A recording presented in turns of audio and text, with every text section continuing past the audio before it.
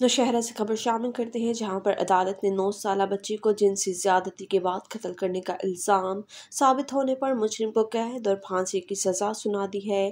तफसीत के मुताबिक मुलजिम ने नौ साल की बच्ची को ज्यादती का निशाना बनाकर कत्ल किया था। केस में जुर्म साबित होने पर अदालत ने मुजरिम को चौदह साल कैद बामशक्क़त की सज़ा सुनाई है। इसके अलावा अदालत ने मुलजिम को दो बार फांसी और चालीस लाख रुपये जुर्माने की भी सज़ा सुनाई है।